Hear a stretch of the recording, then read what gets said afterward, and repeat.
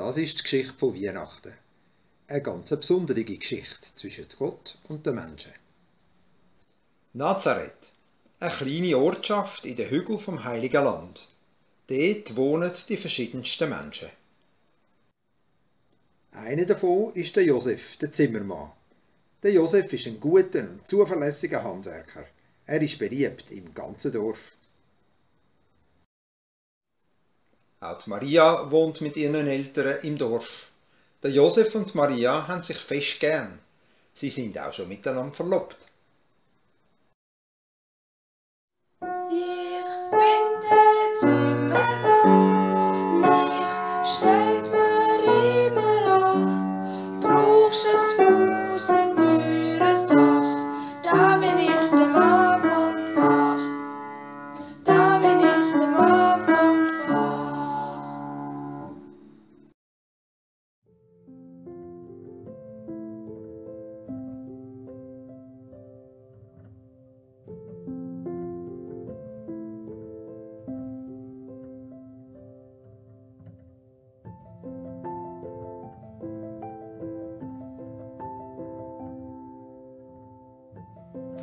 Gott grüßt dich, Maria.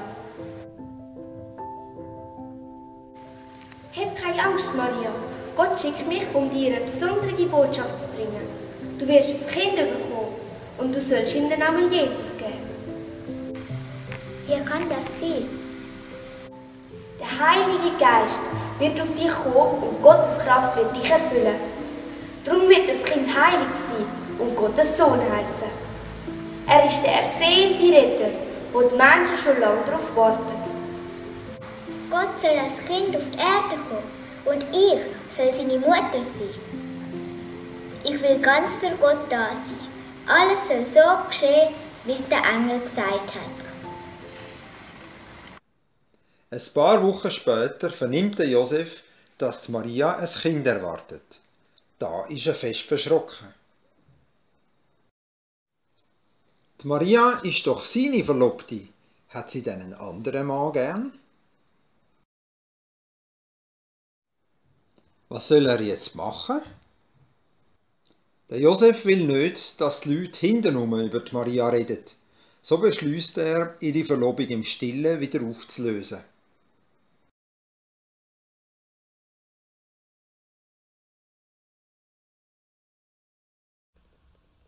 Hab keine Angst, Josef.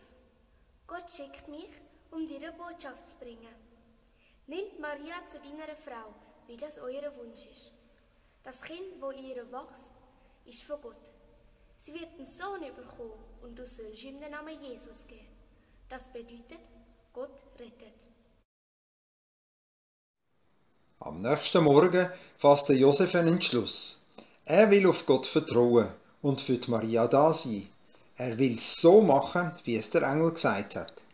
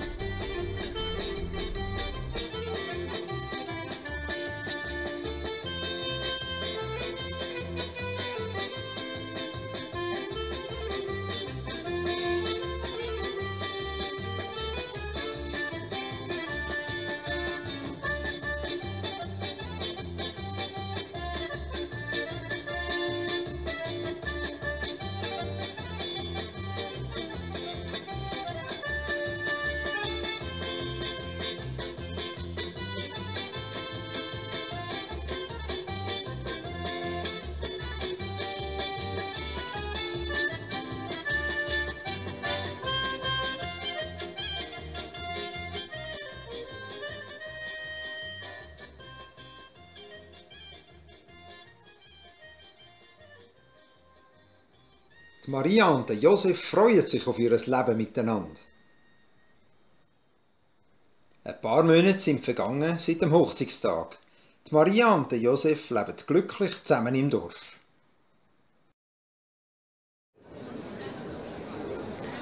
In Nazareth bricht ein neuer Tag an. Die Bewohner vom Dorf treffen sich auf dem Meerplatz, verkaufen ihre Waren oder tauschen die letzten Neuigkeiten aus.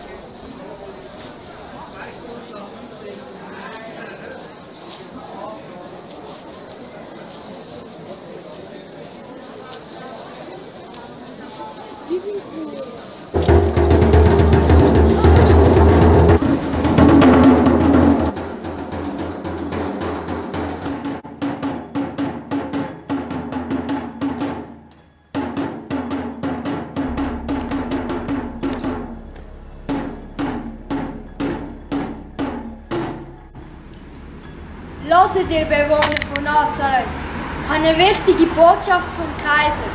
Der Kaiser Augustus wird wissen, wie viele Menschen in seinem Reich leben und darum wird er alle Bewohner im Land zählen. Der Kaiser Augustus befiehlt, dass jeder an seinen Heimatort muss gehen und sich dort einschreiben lassen muss. Zwei Wochen an der Zeit. Der Befehl gilt für alle. Wer nicht folgt, wird bestraft.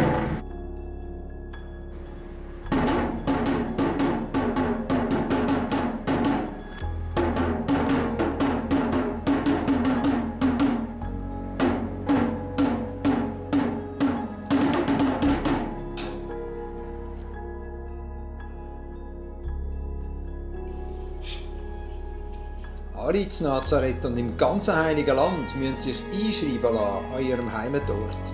Auch der Josef und Maria machen sich parat für die lange Reise auf Bethlehem. Das ist die Heimatstadt von Josef. Viele Tage und Nächte lang sind sie unterwegs.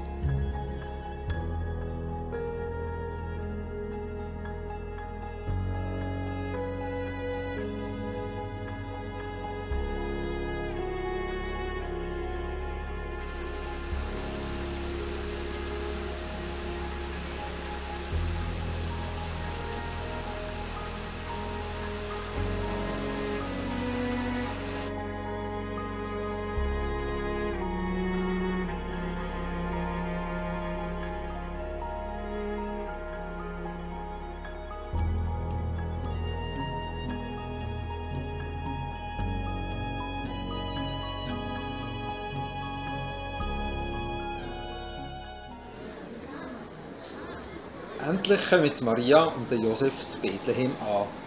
Sie sind müde von der langen Reise. In der kleinen Stadt wimmelt es von Menschen, die alle eine Unterkunft suchen.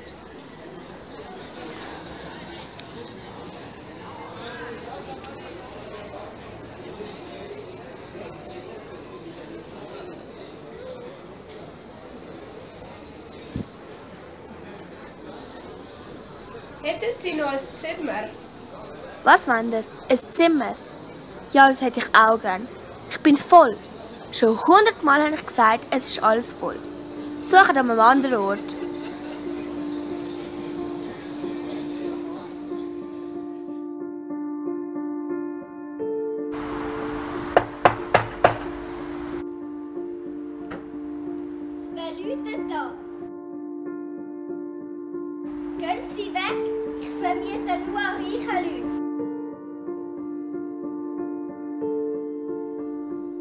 Überall weist man sie weg. Es hat keinen Platz in den Herbergen. Die Maria spürt, dass das Kind bald möchte kommen.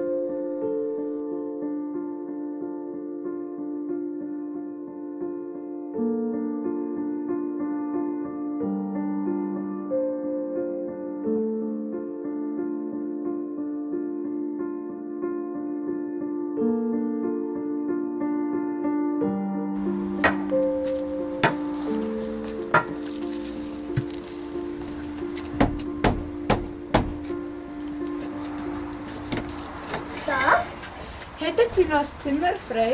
Nein, leider nicht. Hm. Aber wartet, ich habe noch einen Stall. Kommt, kommt, ich führe euch an.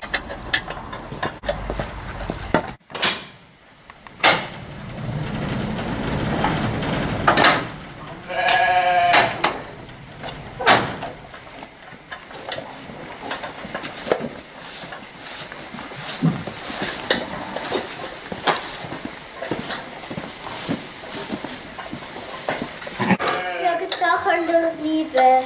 Es ist zwar nicht so schön, aber wenigstens mit den Tieren ein bisschen warm.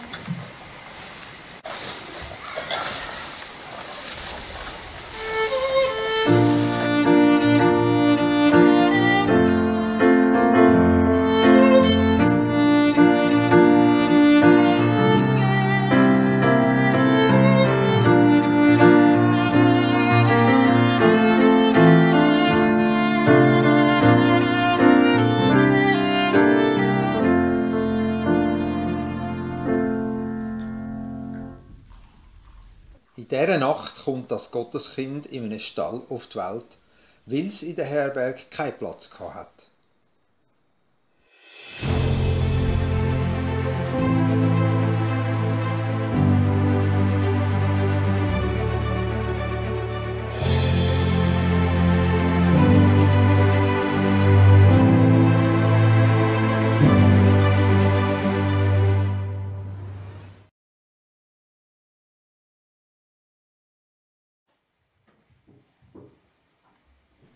Maria und der Josef geben ihm den Namen Jesus.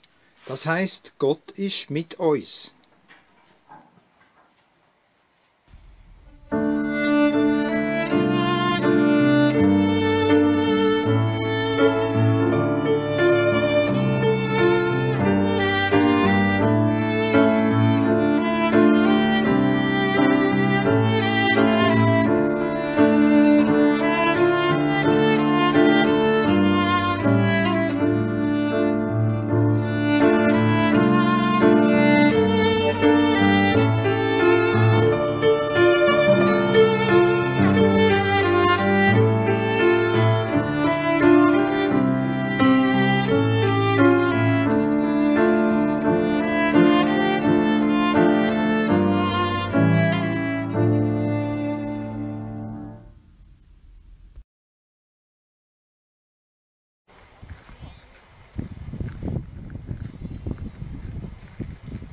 Auf den Feldern außerhalb der Stadt sind Hirten, wo ihre Herde bewachen.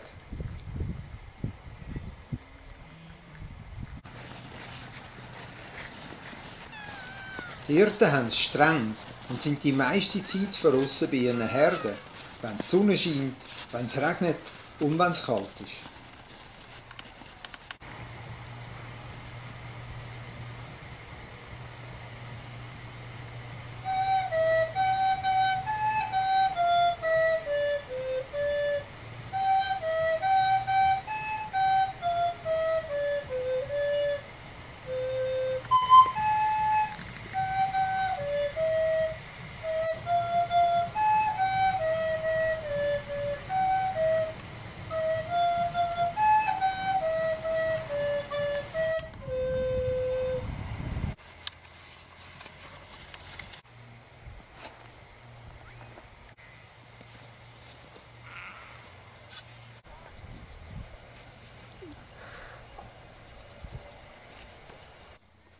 Keine Angst, ihr Hirten.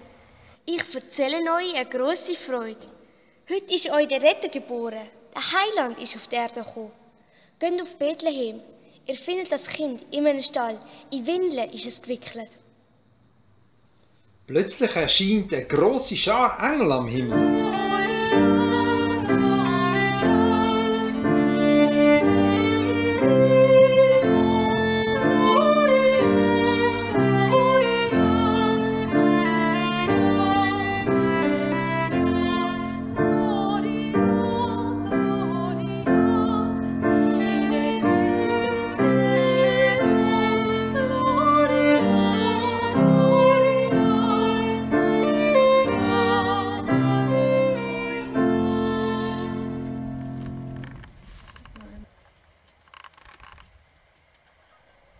Schnell laufen die Hirten und suchen den Stall mit dem Kind.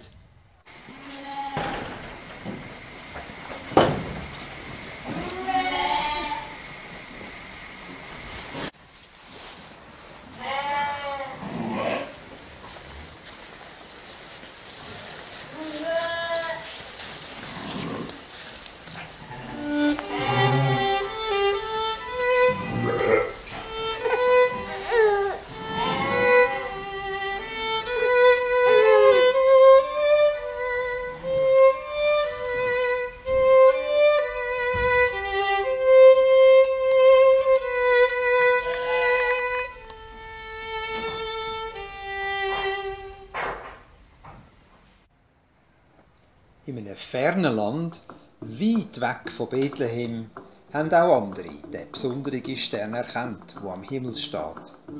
Die Bibel erzählt von drei weisen Sternenforschern. Seit langem beobachten sie den Himmel und studieren in ihren Büchern, was der außergewöhnliche Stern echt könnte bedeuten. Sie kommen zum Schluss, dass der Stern auf einen neugeborenen, mächtigen König hinweist. So packen sie wertvolle Geschenke ein.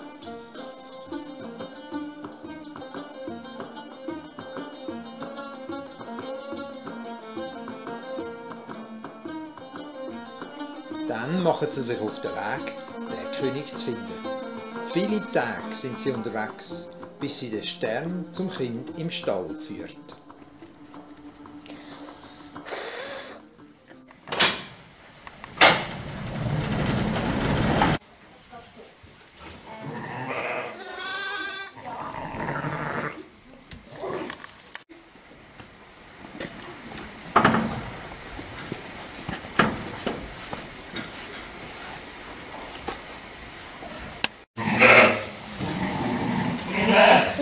Bist du. aber schon grösser als der mächtigste König. Ich bringe Gold.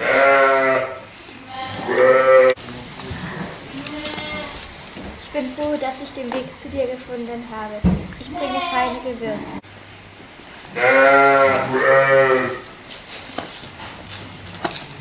Du bist uns von Gott geschenkt worden. Ich bringe Weihrauch.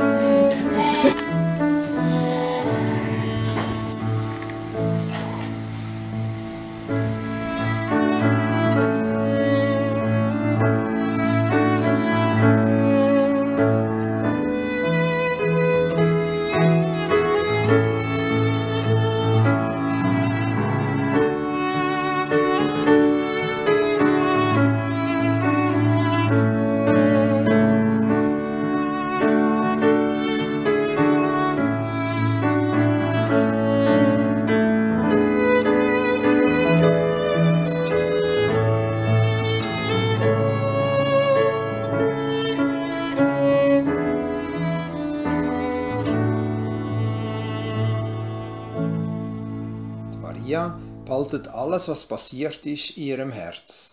Sie weiß, das kleine Kind ist der Sohn Gottes, der Retter von allen Menschen. Ein guter und mächtiger König wird er sein.